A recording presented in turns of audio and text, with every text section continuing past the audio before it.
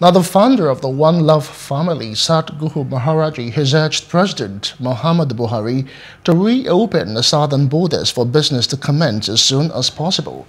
The cleric said this will save many souls who have lost hope of not being able to pay for their house rent, feed their families, and paying for their children's school fees, among other challenges.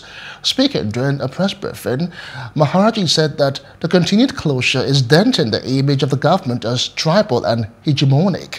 He cautioned the leader of the Pan-Yoruba Social Political Organization, Afenifere, Pa Ayo Adebanjo, to desist from politics of criticism, saying he should change his tactics in a Nigerian political landscape.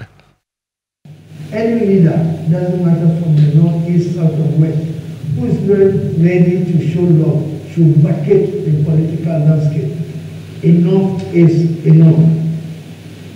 We are also told, one, I will fight to stop paying bandits for the killings in Kaduna State. Two, Malami, the Attorney General, to wake up as Attorney and release all the files on those fingers for crowd, for action, so we can have money to pay our bills. He cannot go against direct primaries then. He is on Africa and does not believe in our progress, so he should leave.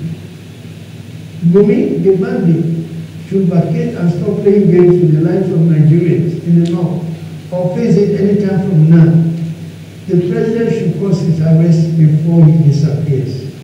Hello, hope you enjoyed the news. Please do subscribe to our YouTube channel and don't forget to hit the notification button so you get notified about fresh news updates.